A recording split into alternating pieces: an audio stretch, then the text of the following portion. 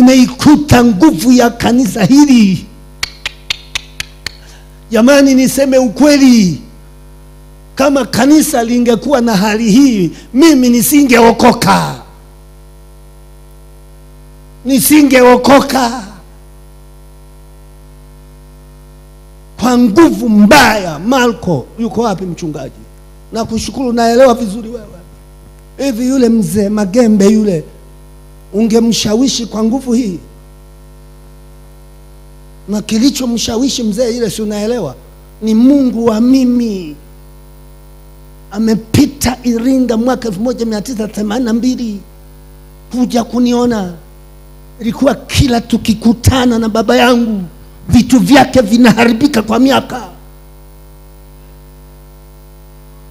Ilikuwa ni mashindano. Asante baba. Mchungaji masunga yuko hapa anaweza akawaambia alichoma pembe ya baba yangu huyu hapa. Mambo mengine huko hatuna habari lakini ile kuchoma ile yuko hapa baba. Njoo useme huyu ndiye aliyechoma uchawi wa baba yangu. Huenda mungu amekuleta kwa ajili ya hili. Huyu hapa jamani alichoma uchawi wa baba yangu mimi huyu hapa. Huyu mzee hauchomeki saa kumi na mbili aliingia nyumbani hebu sema tulikuwa na mkutano mkuu Dar es Salaam. Mchungaji Magembe akaniita kwenda nyumbani kwake, akaomba nimpe sala ya toba baba yake. Nikampa sala ya toba nyumbani kwake. Alipokaa akaamua kuja nyumbani, akasema nina vitu nataka nikukabidhi. Nikaenda, tulikuwa na mchungaji jirani, mchungaji wa Nyarugusu, tukaenda pale, ilikuwa saa nane.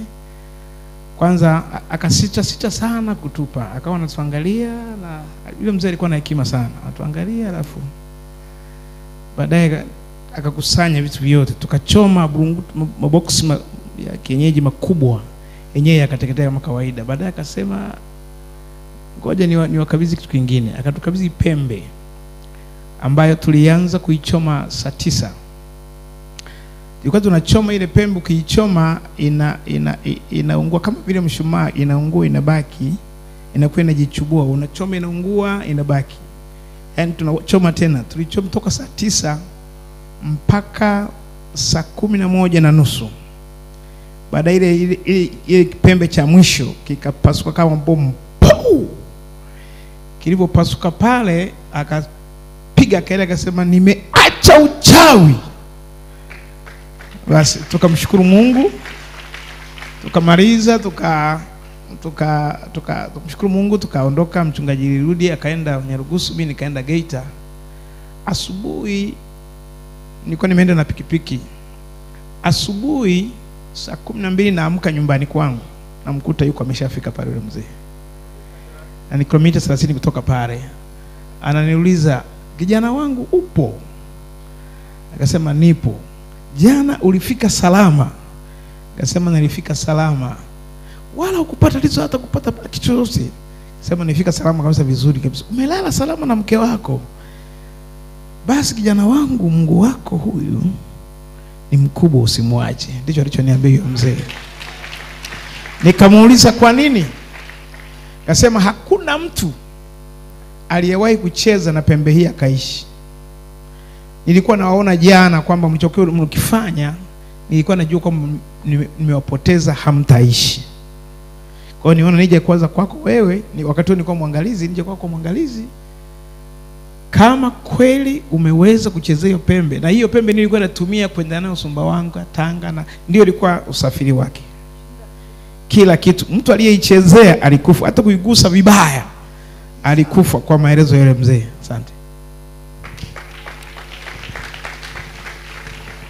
Sasa mimi ndio nimelelewa humo, na alikuwa naitwa Mwanaruzuba. Mwanaruzuba, mnaelewa Wasukuma eh? Ukienda Usukumani, wa kwanza anayeongoza anavuma, anavuma Mwanamarundi. Umewahi kumsikia eh? Kutoka Mwanamarundi Ruzuba, kutoka Ruzuba baba yangu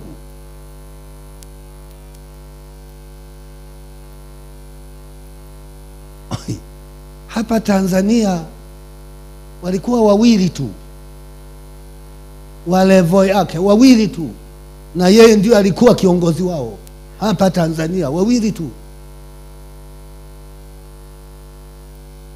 Amepita nyumbani kwangu, unaingia dukani, unabeba hela yoyote unayotaka, mtu hakuoni. Akasema wazungu hawana, hawajui kuitengeneza, kwa hiyo watu tunawamegea kidogo, tunawauzia. Tumegoma kuwapa mti. Humo ndimo nilitoka, na si hilo tu. Umenisikia? Babu zangu wote, maana baba yangu alirisi kwa babu. Msema Gembe mwenyewe. Ambaye alikimbia kutoka Bariadi. Sisi kwa asili, mimi ni Mnyantuzu, ula akakimbia, akakimbilia Bukene, walitaka kumuua, akakimbilia Bukene pale Kazima pale Itanana. Kuna mtu wa Bukene hapa Nzega, ndio akaoa bibi Mnyamwezi na baba akaja akaoa huyo babu pia yeye ndio alikuwa mchawi wa kutupwa. Kwa hiyo babu bamza baba mchawi, babu mzaa mama, yeye ndio alipitiliza, anakuroga kwa kukutazama, ukimuuzi anakuangalia, kesho haupo. Humo ndimo nimelelewa mimi. Maana saa nyingine unajua watu asipokuelewa umetoka wapi, wanaweza kuwa nakulaumu, anasema mbona huyu mzee mkali sana, sijui mbona ana mkazo. Wewe bwana, mimi hii ni maiti inayotembea kwa ajili ya uchawi wa babu yangu mzaa mama. Walionitangulia wote walikufa na waliokuja baada yangu wote wakafa. Kwa hiyo kwa baba na mama, ukiacha mbali hao waliokuja kuzaazaa baba kwa ajili ya baada ya hapo sasa, kwa ajili ya uganga, niko peke yangu kwa baba na mama sio kwamba nilizaliwa peke yangu. Walionitangulia waliuawa wote na waliokuja baada yangu wakauawa wote. Yule mzee alikuwa anaitwa mzee Malale, ni shughuli yaani, akikuangalia hivi midomo ikicheza ya chini, kesho haupo.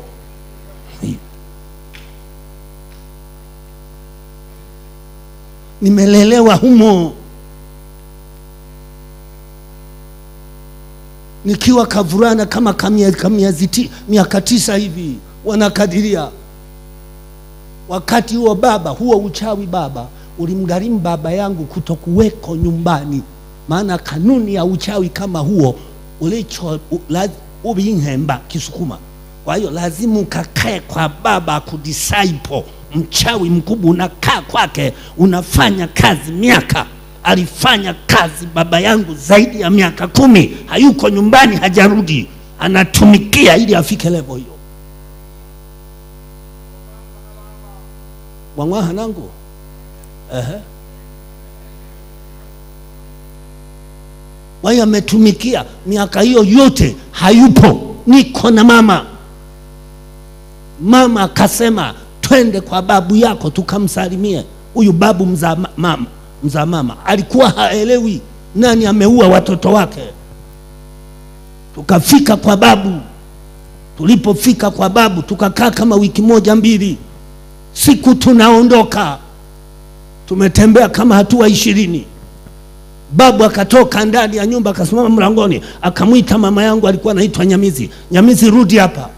Akaja, mimi nikasimama pale, nina kasuti kangu, mama ameninunulia kazuri nikaputura na kashati shilingi mbili. Sasa ningesema shilingi mbili hapa, wengine wataona vituko ndio mwelewe, shilingi mbili. Nina raha kapya, tunarudi kwetu.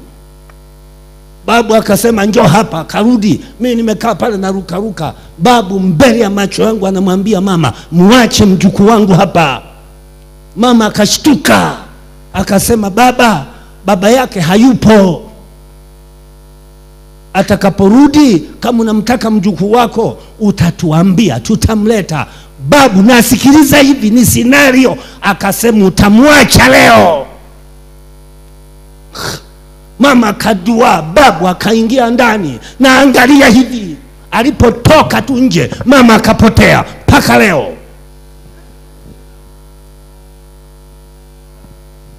Ana ninapokuambia mimi nisingeokoka, kanisa lingekuwa limeharibika namna hii. hamnielewi.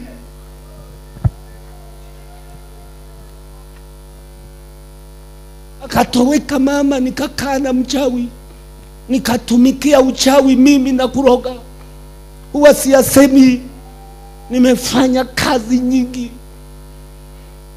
hakuna wakuja kunichukua upande wa baba yangu. Baba hayupo, amekwenda kutafuta uchawi. Wanaogopa, ukikutana yule mzee unaondoka. Na alitaka kunitoa kafara, ikashindikana. Ilishindikana, nitakwambia ilishindikana kwa nini.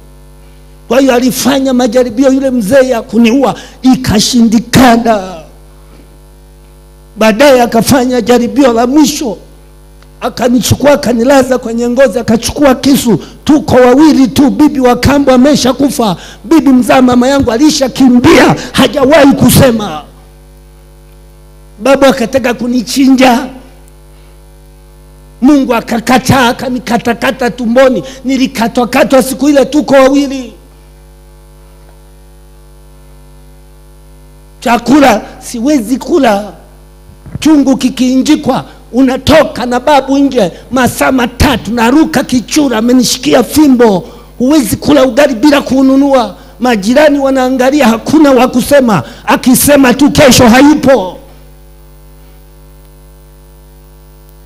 Nisingeokoka mimi nilikotoka kama kanisa lingekuwa zembe namna hii.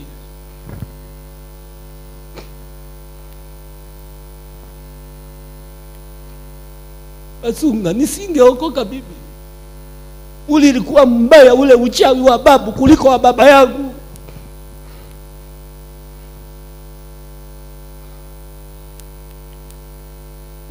Nilifundishwa kufunga mimi, maana wakiamua hutakula siku saba huli, na hakuna mtu akukupa chakula, akikupa tu anaondoka.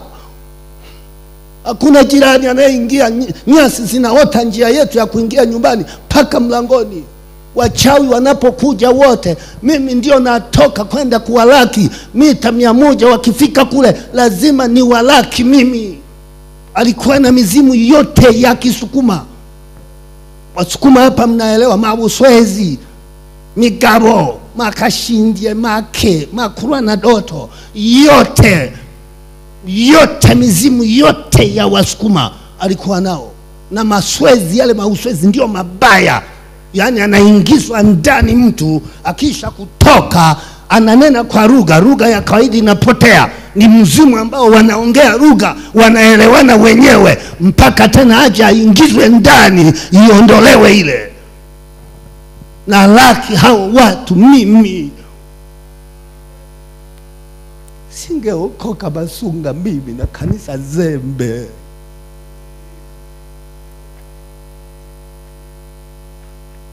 Nafikiri ningetoka mahali rahisi mimi, mbona ningeshakimbia hili kanisa, mateso niliyoyapata ndani ya dhehebu hili. Msinifanye niseme mengine wa- wakuwa yana nilijua Mungu amenitoa wapi Sanga.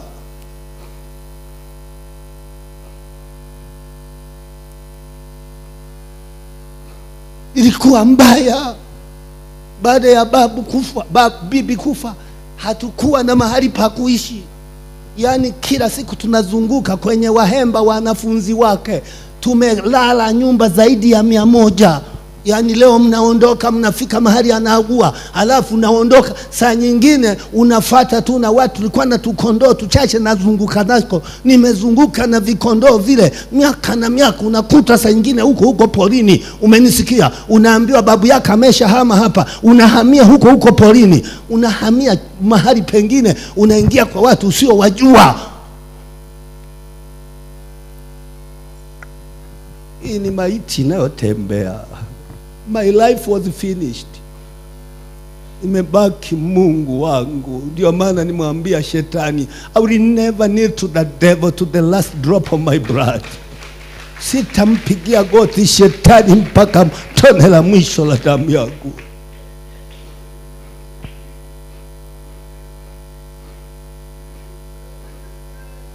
Nikapita humo, nikapita humo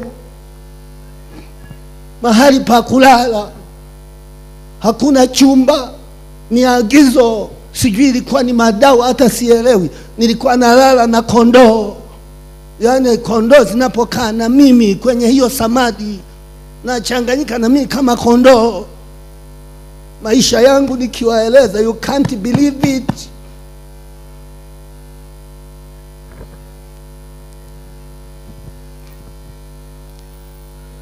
Mungu tu hata kunibakizia akili ya shuleni is a miracle. Mimi nilitakiwa nisiwe na uwezo kabisa wa akili. Chakula nilinyimwa, mateso throughout, pakulala shida, uchawi ndio huo. Ni muujiza wa Mungu mimi kunibakizia akili, muujiza wa kwanza huo.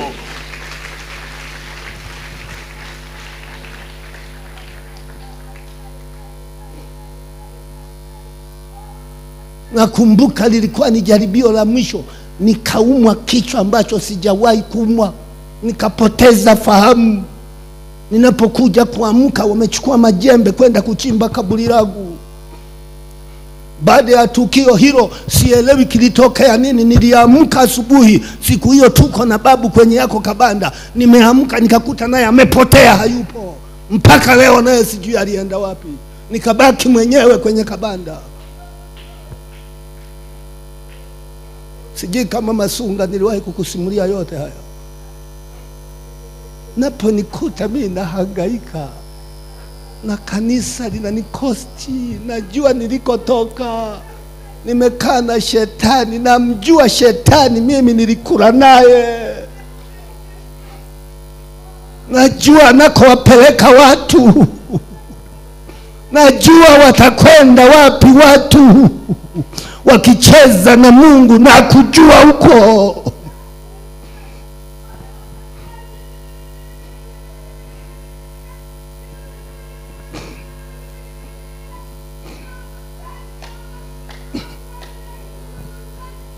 Nikabaki pale mwenyewe. Ilipita siku nyingi, wanaogopa kuuliza, lakini mateso hayo yaliniandaa kwa ajili ya kazi ya, ya wito ambao nimekuja kuitwa. Nimeitwa wito mgumu, wito wa kutukanwa, wito wa kukataliwa, wito wa kuchambwa. Nisingesimama kama Mungu asingeniandaa, nisingesimama.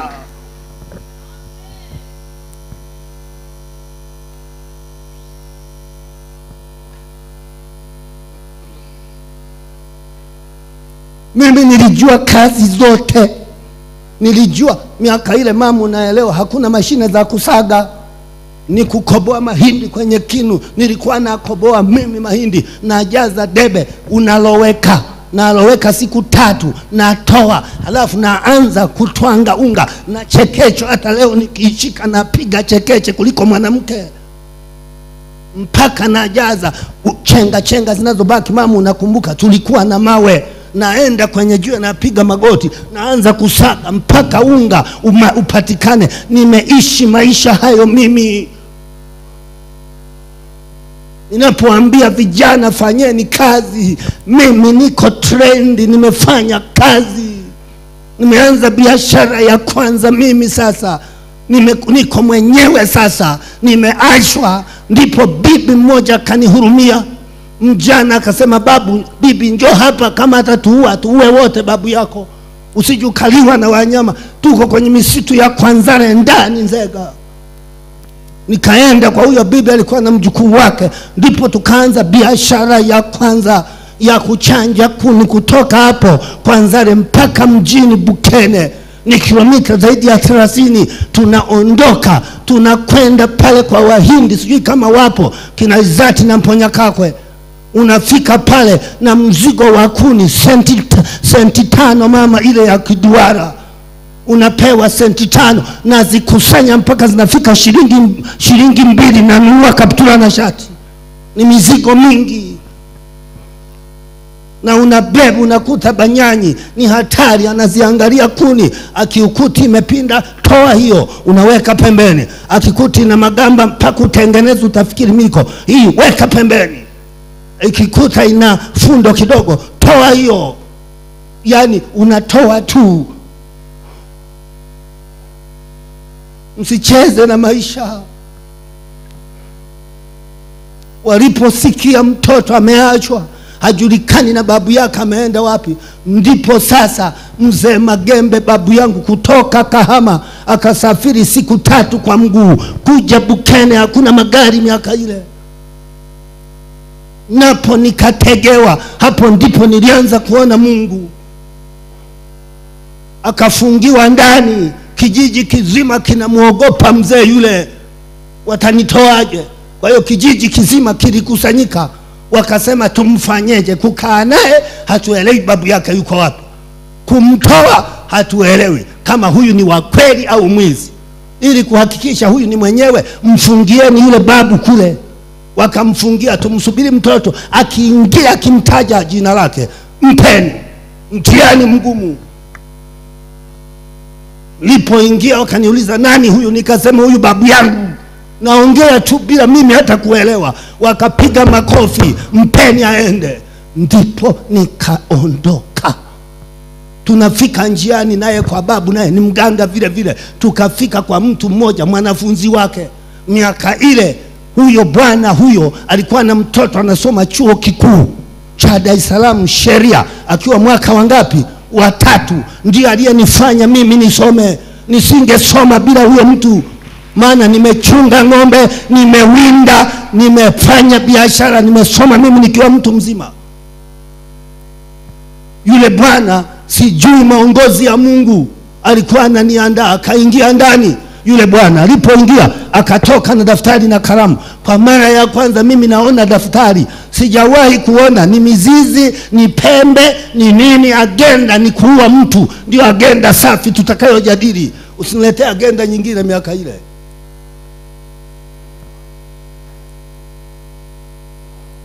Nadhani leo nimeongea kuliko ambavyo hata Mbogo nimewahi kuongea hivi, maana huwa na, na kuongea sana haya ila kwa vijana hawa naongea, mkiwa na masikio msikie. Akatoka mtu yule, ndio maana nakwambia ni muujiza mimi kuwa na akili. Akatoka akachukua daftari akaandika a, akanipa akasema fatisha, nikaandika a. Akaniangalia tena, mimi sielewi anatokea mawe, Akaandika mama, fatisha, nikafatisha mama, alafu akaandika sentensi, fatisha, nikafatisha yote akamwambia babu, huyu mtoto akifika lazima mpeleke shuleni genius. Na babu alikuwa na akili pamoja na uchawi wake, akalishika hilo. Mimi nimeingia darasa la kwanza, sikujifunza haya hiyo huu, nilianza kuandika tu. Hiyo ni ya Mungu mwenyewe kwa maisha niliyoishi. Hasa hayo sio muhimu, niliponaje mimi, niliponaje kuuawa siku mama nataka kunizaa mimi, alitaka kuuawa na babu saa ya kuzaa, akapoteza fahamu tukiwa pale Kazima. Wakambeba wakampeleka Itanana, pale kuna kazahanati ka Pentecost Swedish kazamani sana kale. Wakamkuta nesi midwife mkunga ameokoka. Alipomwona amezimia, akapima. Haya mama alinieleza sasa, ushuhuda kutoka kwa wazazi wangu alipopima akakuta mapigo ya mtoto bado yapo, akaanza kuomba. Yule bibi alipoanza kuomba, huyo mkunga aka mama akashtuka, akarudi kwenye ufahamu. Aliporudi kwenye ufahamu, ndipo akamtia moyo, kazana utazaa. Akaanza kumtia moyo, akaanza kumtia moyo, akamzaa mtoto wa kiume. Alipomzaa mtoto wa kiume, yule mzungu nurse midwife akamchukua huyo mtoto, maana alishapeleleza background, wote wameuawa. Akambeba huyo mtoto akamweka wakfu. Kwa maneno haya wazazi wangu waliniambia, akasema hivi, huyu mtoto ametolewa mautini kama Musa wa zamani, jina lake ataitwa Moses. Ndivyo nilivyopata jina langu mimi, niliitwa toka kuzaliwa. Ndiyo Moses anayekuhubiri leo, Moses anayechamba chamba duniani, ndio huyu.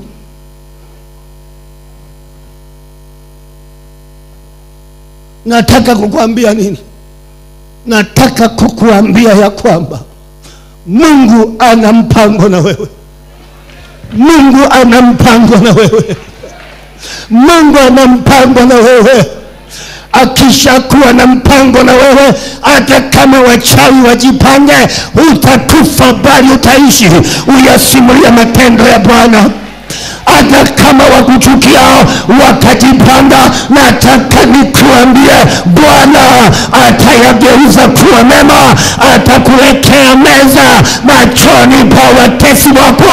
Nataka uelewe ya kwamba Bwana kisha kuchagua, maana inasema wale aliowaita aliwachagua tangu mwanzo ili wafananishwe na mfano wa mwanaye. Nisikilize, Bwana aliponitenga nimepita majaribio mengi, lakini haikuwezekana.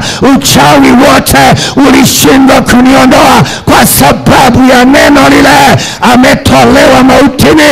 Nami nakwambia leo, unapookoka, Biblia inaniambia Bwana anatuondoa, anatuhamisha na kutuingiza katika ufalme wa mwana wa pendo lake. Nisikilizeni wa Tanzania, Yesu sio marehemu, Yesu sio hayati, yu hai Yesu, hajafa Yesu, sio hayati. Vijana nawaita. Nawaita. Vijana wa TAG, nawaita kwa Yesu, nawaita kwa Yesu. Bwana amekuchagua, Bwana amewaita. Hakuna aliyechaguliwa na Bwana.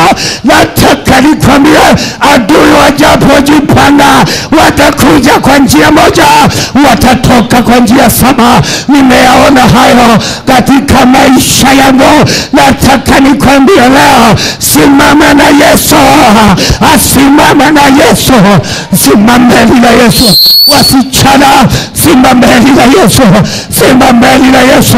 Uchawi ule ulishindwa kuniondoa kwa sababu ya maneno ya mzungu mmoja kutoka Sweden.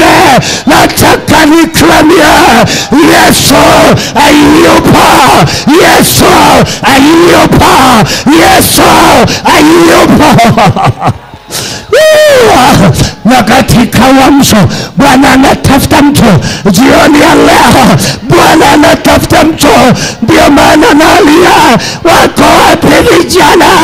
Tuwakabidhi kijiti. Mbona vijana hawaonekani?